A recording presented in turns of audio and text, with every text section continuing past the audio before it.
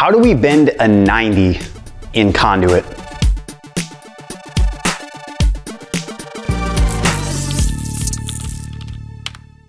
All right, when you are bending a 90, the first thing that you wanna do is figure out what your dimension is for your 90. So say we have a um, an obstacle and we're trying to clear, or like we've got a wall right here. We need to figure out what that total distance is to the end of our 90 from the beginning of the pipe. So let's say that we want a 90 to bend at, let's say like 36 inches. I'm gonna go to the end of my conduit, I'm gonna go to 36, I'm gonna draw a line. Now that 36, if I were just to bend right here, is not going to end up being 36. So we have to do a takeoff. For three quarter inch conduit, that means six inches. For half inch uh, conduit, it's five inches. For one inch conduit, it's eight inches. This is all stuff if you have an Ugly's book that is all in there. So um, keep an Ugly's book around you. Um, but if, like if you ever forget, it's in there. But I just know this because I've been doing it for so many years. So what I do is I take this six inches from my mark and I go back and I draw another line. So that shows me two things. It shows me the end of where the 90 should be once it's a 36 inch bend, but it shows me where to actually bend it to achieve that. Now I'm writing on here with a Sharpie marker just because for the video's sake, I want y'all to be able to actually see these lines. When you're in the field though, don't use a marker. It's really unprofessional because then you're gonna see all these lines all over your conduit. To keep it clean, just use a pencil. You use a construction pencil and then you just rub it off with your thumb. Now when you're doing this, this whole takeoff method, I'm gonna show you two different methods of bending 90s depending on which way your bender's facing.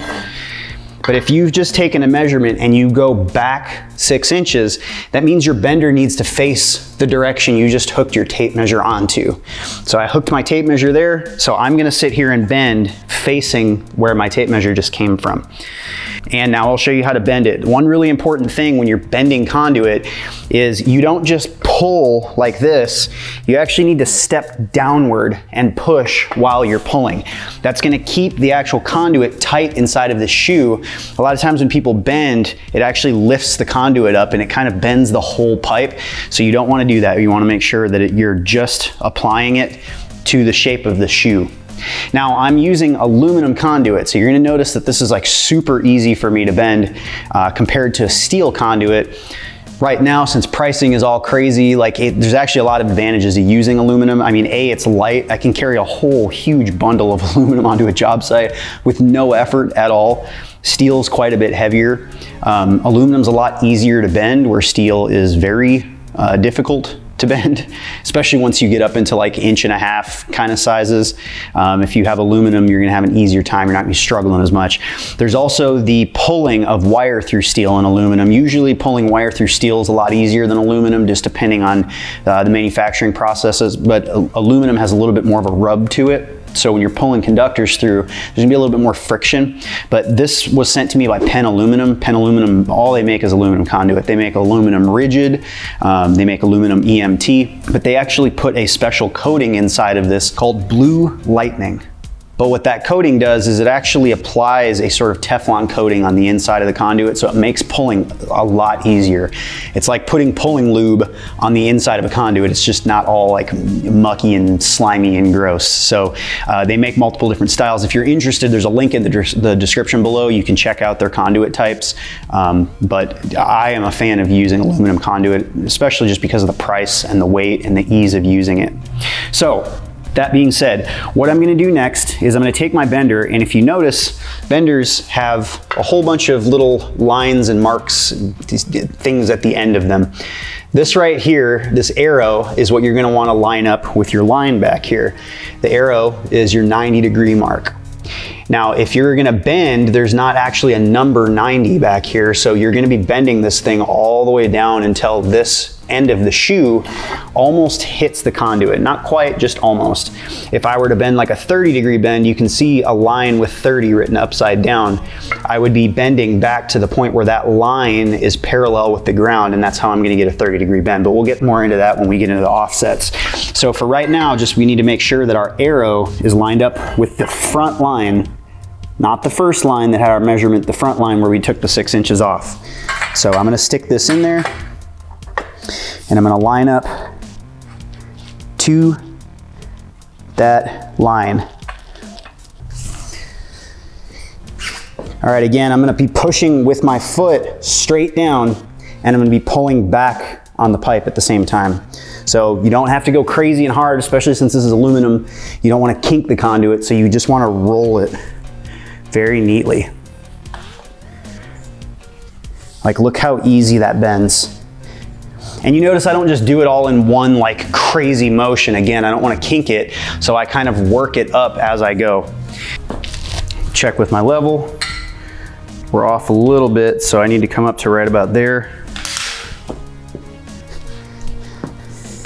Little adjustments like that go a long way, and boom, that's level. So you can see that the bottom of the shoe is about an inch off the top of the conduit and that gets me level. You'll get used to that the more that you bend, the more that you do these.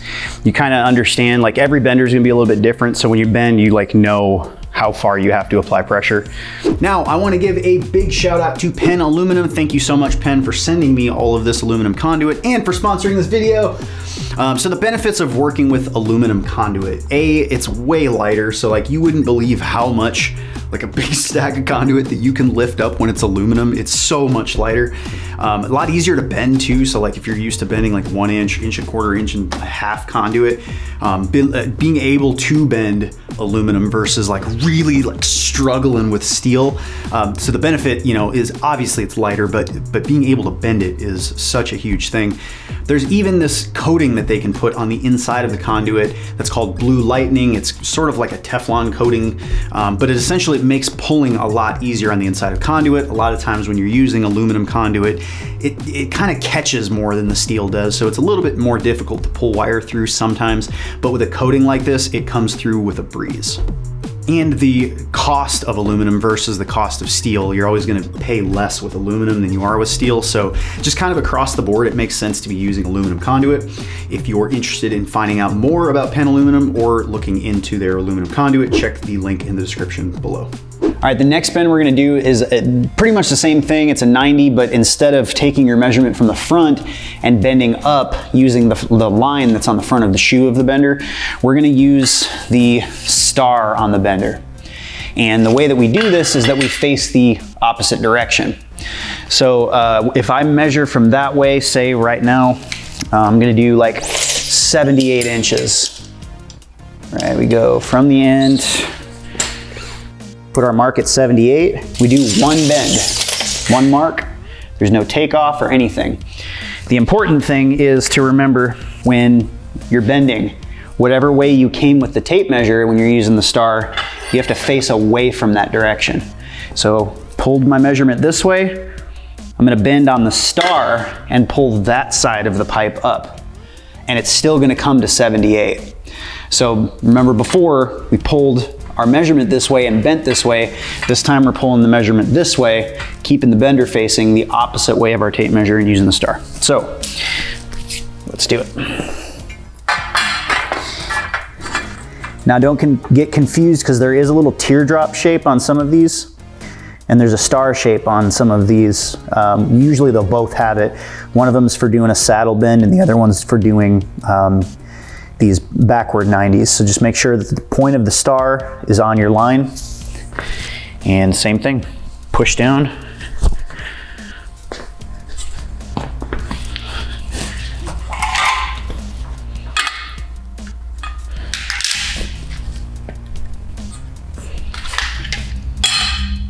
But that's it, that's a 90.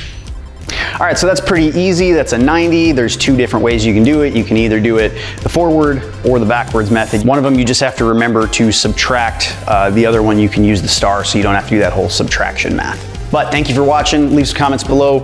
Love you crazy people, and I'll see you in the next one.